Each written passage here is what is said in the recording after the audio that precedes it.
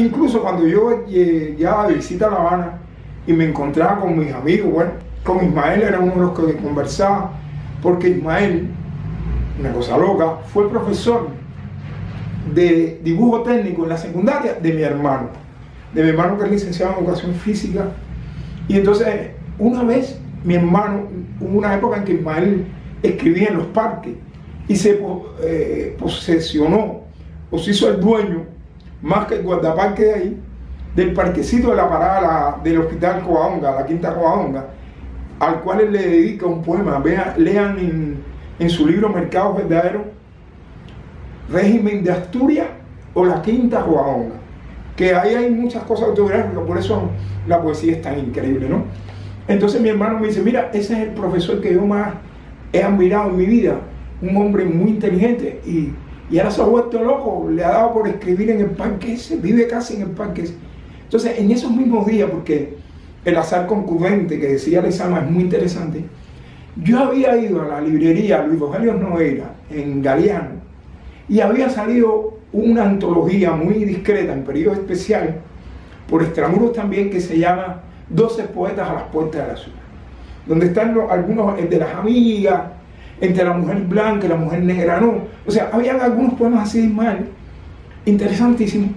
Y yo, cuando regresamos mi hermano y yo a la casa, se lo digo, mira, tienes que leerte esto para que veas quién es tu profesor.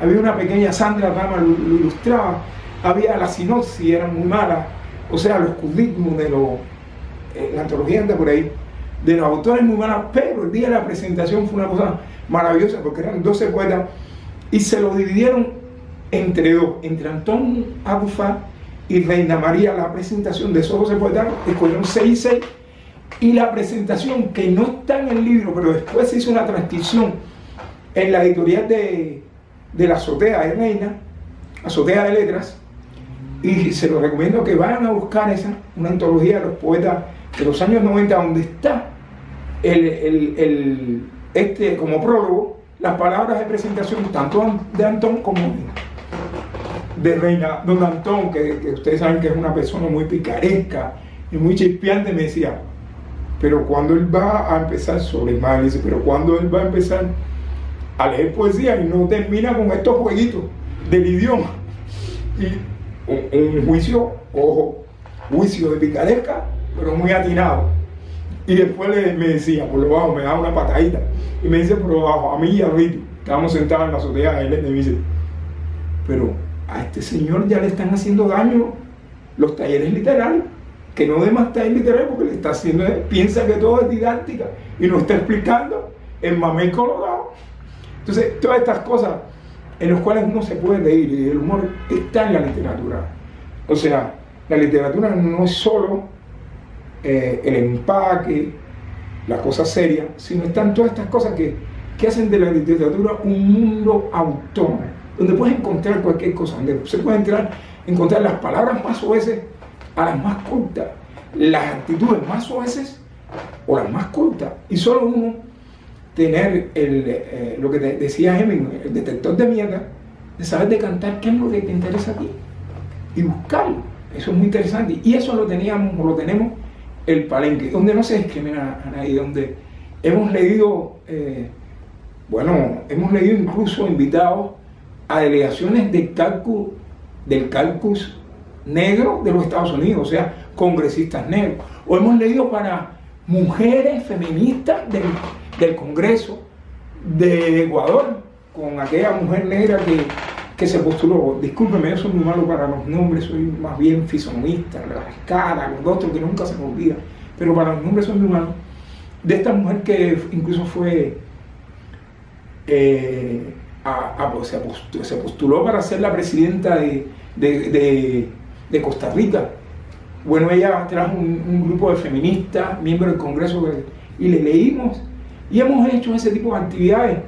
Eh, yo invité una vez a, un grupo de, de, eslavófilos, gente que, que, estudia el eslavo como, materia, a oírnos con traducciones que yo hice en, eh, en casa del, del pintor Diao y lo, esto increíble para gente de otro ámbito, en el idioma español leímos y yo después leí algunas sinopsis en las traducciones, pues se quedaron maravillados con la lectura y dije, bueno, esto funciona.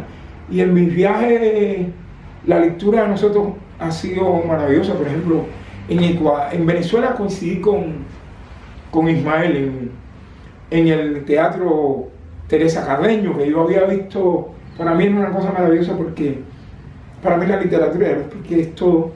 Y cuando se puso de, moda en Cuba en el año, en los años 80, 82, que vinieron los deportistas de, creo que fue 78, de los Panamericanos, de 78, los Panamericanos de Caracas, y trajeron los primeros discos de Oscar de León.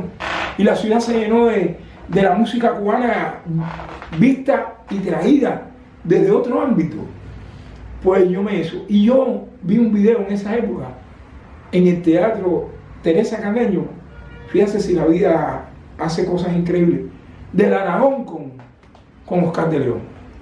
Y después, cuando la vida me regala esto ya, eh, hace tres años atrás, de ir, en 17, de ir al, a María Teresa Carreño, estar en la... Yo no sabía que tenía esa librería, no sabía que había ese mundo cultural dentro de ese teatro. Teatro extraordinario, desde que tú entras por el, por el parqueo abajo, el sótano, hasta la cúpula, es lleno de, novedades. Sala tal, sala más cual, donde hay pintura, galería tal, galería más cual, es una, un mundo cultural increíble. Eh, de pronto tú entras a un lugar y, y estás en una emisora de televisión que tiene su canal allí y tienen dos o tres estudios, no muy grandes, pero decorosos allí, de venezolanas de televisión o te encuentras en una emisora. Allí, por ejemplo, me hicieron una entrevista ahí. Entonces yo me quedé loco y contaba esto mismo que le estoy contando a ustedes. Estar en María Teresa Carreño, verlo al frente desde el, alba, para mí era una poesía. Mirando la cruz de, la sinagoga judía de, Caracas.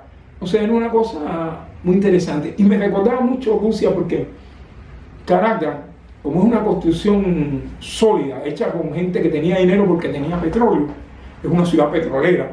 O sea, tú ves el, hormigón de verdad, como Moscú, que tiene la parte vieja donde sigue es europea, europea, pero tiene la parte esa de la preponderancia, de la riqueza que tiene Rusia, y es hormigón puro, hormigón armado, puro. Entonces, eh, eh, en los edificios muy, muy muy año de, la arquitectura neobarroca, pero muy, muy sólido, entonces todo eso me recordaba, además el metro. Entonces todo eso fue poesía. Y, yo disfrutaba mucho poéticamente. Y voy a leer dos poemas que escribí, creo que los escribí ahí, que están en Kenoma. Este libro que, me dio mucha alegría también porque eh, algunos de estos poemas ganaron el, el premio de, poesía de la Gaceta y eso me, me, permitió estar en uno de los eh, festivales de poesía más lindos, más interesantes, donde hecho por la izquierda, además, cosa que a mí me fascina, de gente pobrecista, gente que, va hacia adelante. Echemos un lado el mundo de la droga, que en Colombia es un maremán, pero ver en ese momento, cuando yo fui en el 2007, ver bajar de la loma de las lomas, de los cerros, del Cauca, a los guerrilleros de la FARC con sus pasamontañas y leer, y leer poesía en este festival, un, festival de la paz. Coincidentemente, el año que yo fui, le dieron dinero a la Unión y le, dieron el premio alternativo mundial de la paz, que lo dan, en vez de los suecos, lo dan los, los al frente. Puede ser la gente de Dinamarca, creo que los dinamarqueses, y era una cosa maravillosa. Pero les voy a leer estos poemas que los hice en Venezuela y se los quiero leer. Discúlpeme, no los tengo numerados, es una. una. Bien. Eh, aunque lo hice en Venezuela, estaba pensando en otra ciudad. El poema se explica por sí solo, o en tres ciudades.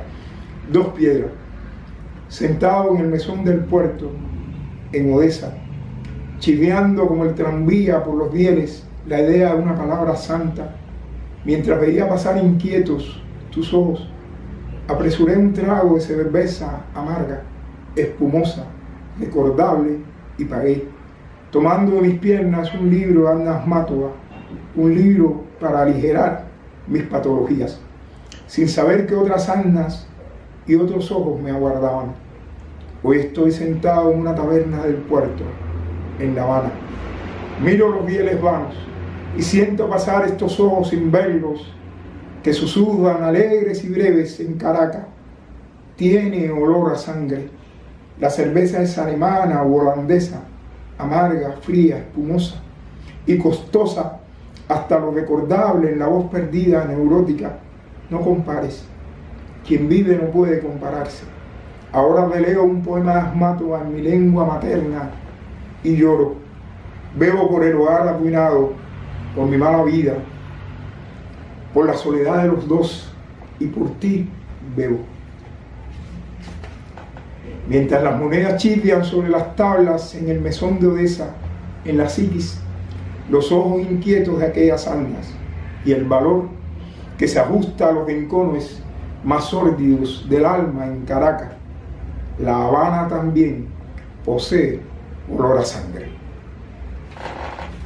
Y voy a leer otro poema que escribí, ya lo dije, allá en Caracas, donde no hablo de Caracas, eh, pero se entiende que, es en una ciudad latinoamericana, o un país latinoamericano.